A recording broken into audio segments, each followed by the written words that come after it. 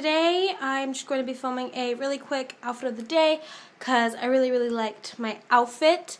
Um, my shirt is just a flannel from Nordstrom and it has like stud detailing on the collar and then on the pockets.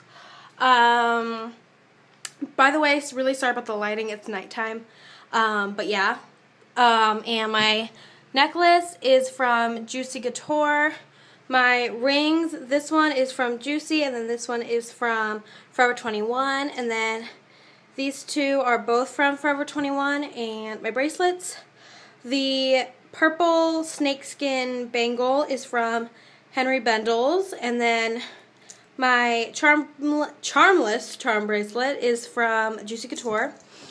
Um, my earrings are from Topshop, I think. They were a gift.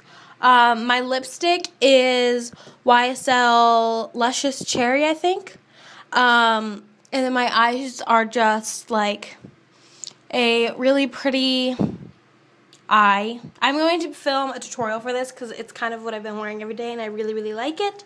So, yeah. And my pants are just Nike yoga pants. My boots are from Naughty Monkey. And my purse is a Balenciaga City, I think. I think it's a City. I will put it somewhere like here.